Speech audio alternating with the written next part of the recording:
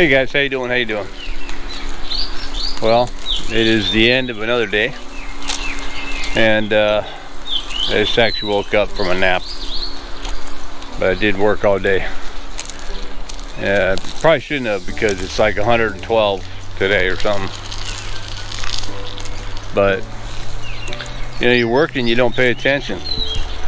And uh, today I was a little bit more aware of it because, well, one, it was hot, but my wife was coming out and sharing with me that it was too hot, that I shouldn't be working. She also shared that there was a couple of guys that you just saw in the news that died from heat stroke, you know. One guy went out to go fishing or something and wound up find, finding them in sugar cane. Just, you know, heat stroke, these guys. But uh, today what I did was uh, I did electrical work. I did have to buy some extra conduiting, but one of the things I did, and here we'll check it out, was I put a receptacle here. It's actually uh, got two USB ports. I don't know why that cable's still in there. Three plugs. I did run the line after I, I actually I punched a hole right I took apart this receptacle, just took it off and, you know, drilled a hole right through the wall with my hammer drill. And then uh, ran conduit here and then all the way up and all the way over. This wire is hanging right now. Of course, that is a live wire. I probably should remind my wife that that's a live wire. Let me see if I can't get electrocuted here. Try and put this up. Whoa, whoa, whoa. There we go. Yeah, but uh, yeah. So and I also what I do is you can see, you can hardly even see it, right? Because I use that galvanized spray paint that I do after a weld. You know, you spray it out like after a weld, like right on there. I sprayed that whole pipe. And then on this one, I painted it, of course, with the gray. Make it all blended. So, that looks pretty cool, right? It's, uh, I ran the wire out there because, you know, I haven't decided what it's going to look like, but obviously we want to run lights that way. That'll be good. So, in my shop, what I did was I, um, and just now when I was waking up and thinking about my work, you know, I was thinking, you know what, hey, I, I should probably, um, where is it? I should probably make a switch. I, I, I actually made these lights this light here, uh, actually that's an old light. They're just stuffed up in there. That I just put a zip tie on it. Uh, there's another light here, but I'm gonna probably put a um, what's that? A switch somewhere. I ran conduit here you gotta move, well, you can't really see it. I'll move this out of the way, maybe, without messing up everything. But uh, the line was, I still have to fix this, but the line, that white conduit goes down into the kitchen from inside the house. What I did is I intercepted that there and cut it open and just basically spliced into it. That plug that's in the kitchen is like where the microwave and all that would be, so it's like a 32 amp. And, um, but what happened was this blue line here, it's a one inch. It goes down to a, uh, down to this single half inch. I, I chipped out the cement floor, trenched that, I'm gonna cover it with cement. And I just ran it all the way up here. And then I ran it across and down and just kind of passed it over underneath. And I put a 4 by here. And then there's a single plug uh, switch breaker for the water pump actually. Because we had been using the, um, what's that? We had been using the extension cord for the water pump. I was running the extension cord from inside the house actually. And uh, if I needed something in the shop, I would just, you know, fix it like that, extension cord. But now I don't have to do that anymore. Actually, I think I had this rigged before, but then when we created the house and had to do all the electrical, I had to cut all that up off. So I had to redo this. So I got the switch back now for the pump. I got four plugged right now. I'm gonna actually put, I got another plug series that I got going. And uh, this is that gray flex I was talking about for the, not flex, but the gray stuff. And uh, yeah, so I'm gonna box that up and I think what I'm gonna do is I'm gonna put a box over here next to the table and run it to this box. Although this is already daisy chained to that. And you know, I'm basically daisy chained to that. But anyway, so yeah, I think it's gonna be all right. You know, it's not it's not a whole big old professional thing, but I needed it to be out of the way, so I ran this conduit. I had this conduit already. And I already had this stuff. Actually, I had these. These were from a different, these elbows were from a different uh, set of uh, pipes I was doing. So these are too big for this, but they work. That'll work. Anyway, I also have a light here. So I got one light here that's actually on a plug. And I got one light there. So I think I'm gonna do is I'm gonna connect these two together and then run the line to, you know, I don't know, maybe I should connect them here and run the line this way to a switch. But then uh, I'll have to do, I, I have to intercept this again to make this maybe a switch right here. Eh, but it's all right.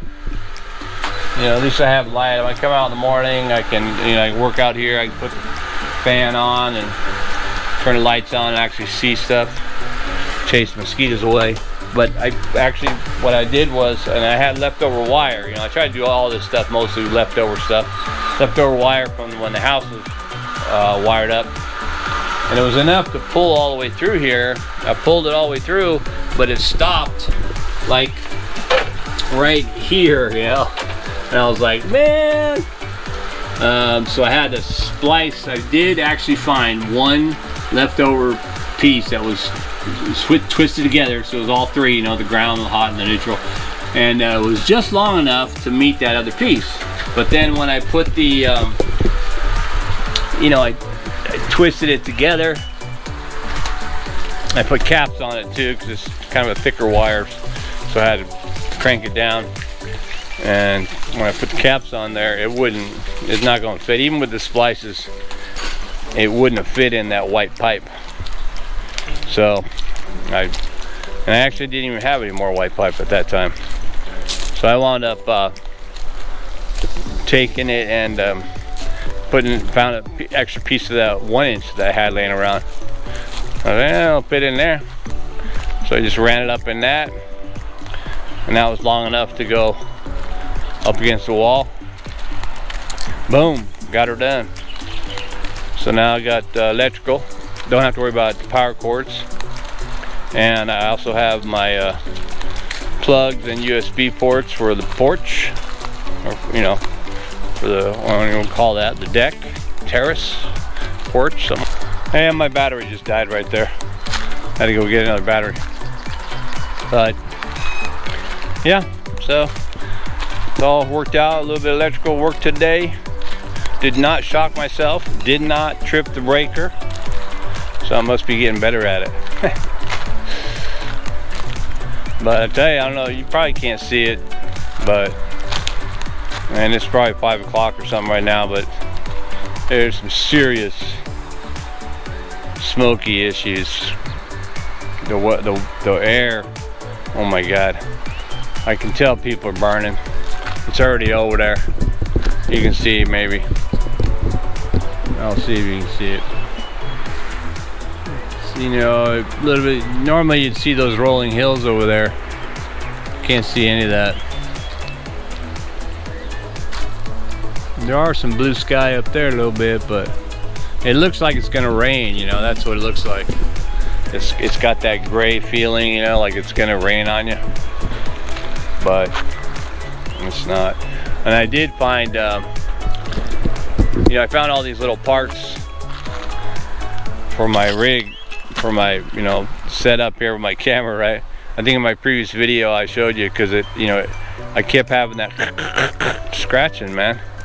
And uh, I finally found the, I was looking through all my stuff, I found that one, that little stretchy one with the, like that, one that actually goes to it. But I don't know if it's gonna be enough. I don't know if that's gonna make it not scratchy or not. Maybe I should move it around. Yeah, I'll find out when I go to edit there, see if it's got scratches from doing that. But I mean, just walking and talking with it, probably not a problem. But when you're riding on the motor scooter and there's wind blowing it and it's moving around, you know, at least with the shotgun mic. I mean, I could just not use the shotgun mic and go ahead and, you know, do it like that. But we got a few uh, bananas going here. Yep, those aren't too far away. There was actually bananas here and I was getting ready to pick them. You can see through the mangoes too. Um, was getting ready, I was going, oh yeah, they're, they should be ready now. They're almost ready. And they're gone. I'm like, what the hell? I think what happened was, uh, you know, one of our aunties came over and uh, snatched them up, you know, which they tend to do come over. I mean, you know, think about it. I was, I was thinking about it the other day, and that is that, you know, before we came back to retire here, the farm was basically neglected, right? It was just this kind of wild place where things grew and you know the mom might come over once in a while and plant something or this or that maybe not recently but um, and the sister took care of uh, some rice out here and this and that. But anyway, the other family members, cousins, aunts, or whatever, they had no problem being able to come over here and say, you know what, I need to get like, you know, a handful of this or a handful of that. Or like the one auntie, you know, she sells at the market, uh, you know, packs of vegetables, you know, like the the basil and this and that and uh, and mangoes or whatever. I don't know, might be not too many mangoes, but you know, we, we have different kinds of mangoes here. We got that one kind, I just had it today. It's like, I, I don't know, there's a bunch of different names for it, but my wife says it's the, the name is translated roughly to the tongue of a cobra. So that mango tastes pretty good. but um, yeah, so they would come over probably pretty regularly and you know and take get stuff you know get a bunch of limes get a bunch of, of basil get a bunch of this that and all that other stuff. And then we came. We came back and now um, maybe they kind of felt like uh, I don't know if I can do that anymore. It was free reign while we were gone but reality is that I don't really care because uh, I mean they're not taking everything you know, the auntie that came over and, you know, and chopped down these trees to get to the leaves at the top, you know, that, to me, that, that's a bit much. I mean, come on, cut the tree down just to get, you know, $2 worth of vegetables. I don't know, I understand. And I know things grow quick here and stuff, but I like the big trees. I want them to grow as tall and as big as they can on this side. There's nothing here. They can fall over. You know, it's all right. There's nothing here. Um, of course, when I put the uh, build that pala out there with the roof and stuff, uh, I don't know. Maybe I'll have a different idea because we wouldn't want the tree falling, crushing that thing, would you? Unless I make it to, uh, you know, make it to where it can get crushed. I don't have to worry about it. Looking for snake holes. I got my my thongs on, but I also still have a whole bunch of wood. Big wood piles, not big wood piles. I told my wife not to burn that, just to let it let it get dry, really dry, and then maybe when the rains come and they wash away all this incredibly bad smog that we can uh, we can burn it then. They were burning at night. I think these guys are waiting. These are my some of my other neighbors off in the corner over there. And I think they're waiting whoa, for just uh, the cover of darkness. Because there is a there is a burn ban law, right? Especially now. I mean, Compang Pit, our village, you know, hit the news with being the third worst in the country with air quality. Uh, next to Chiang Mai and Chiang Rai or something way up north. But a lot of that has to do with you know the weather and the heat, but also because people are burning. And the burns, you know, if there's no wet, if there's no wind and it's really hot, all that stuff kind of stays low and stays in there. You breathe it, man. People flood in the hospital with breathing issues. I don't have any of those, but I did feel a little bit strained this morning while working because it was uh, it was hot, man. I mean, I, I, this stuff was just pouring off of me. I also put a, uh, other than doing all this electrical, I put um, shelf underneath the kitchen sink and stove. My wife wanted a shelf in there to put whatever underneath the sink. So I um, I was in there drilling the holes and stuff for the mounts. You know, it didn't have the aircon on or anything like that. And dude, it was like a sauna in there. Crazy. But I'm gonna have to uh, be aware of that, especially if it's supposed to. I, my wife told me it was, the news said it was supposed to be 52 or something like that. I was like, 52? 52 is like, no, that's some crazy temperatures. That's like 120 or something.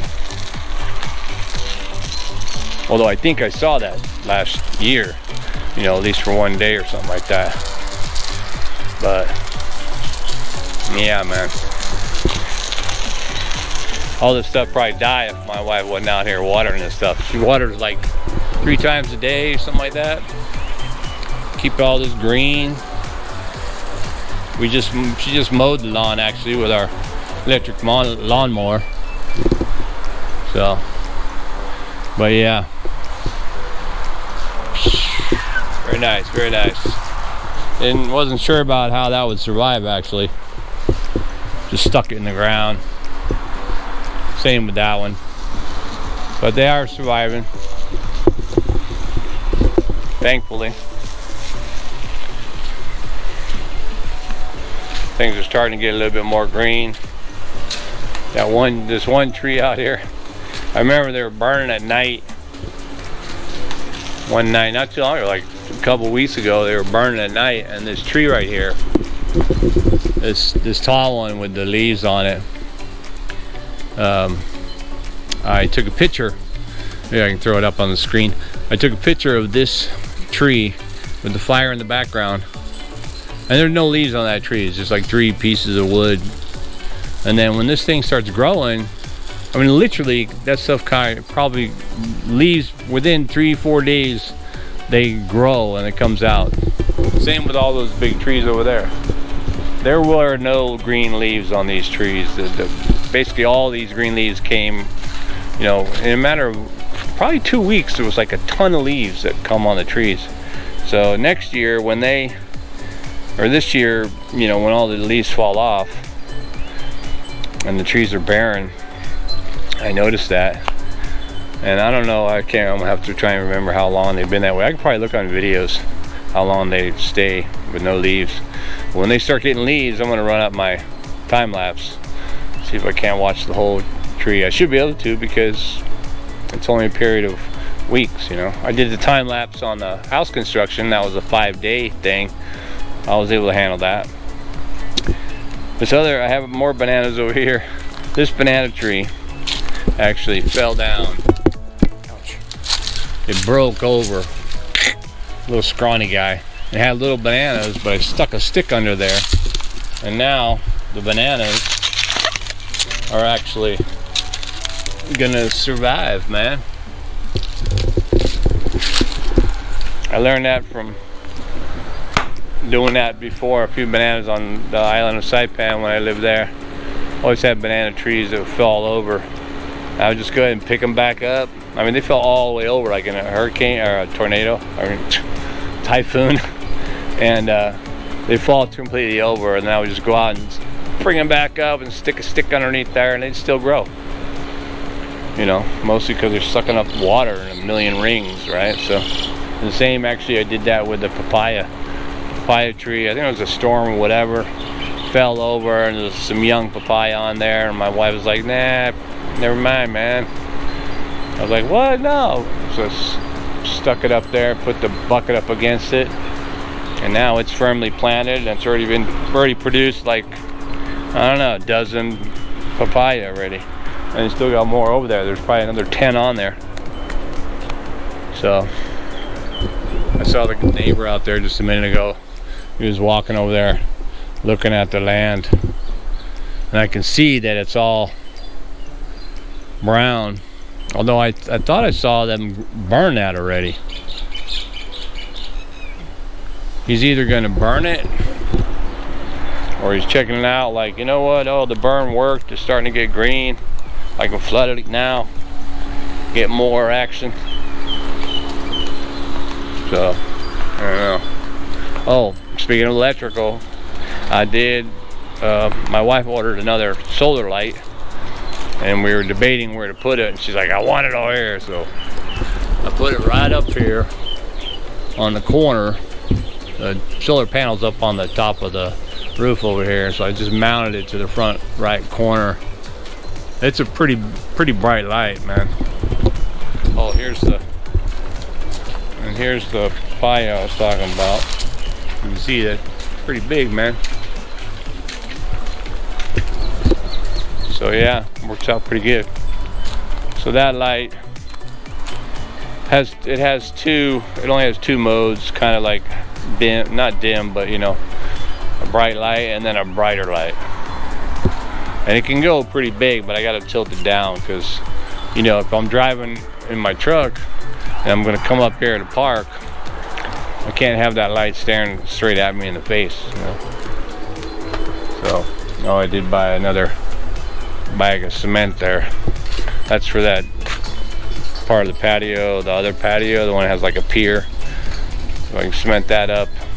I'm also gonna make some uh, some pavers with the rest of that and put the put those uh, little rocks I bought, little brown pebbles or whatever to make custom pavers.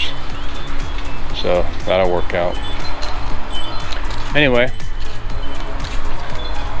that's about it I guess. Update on my electrical. See what I've done today.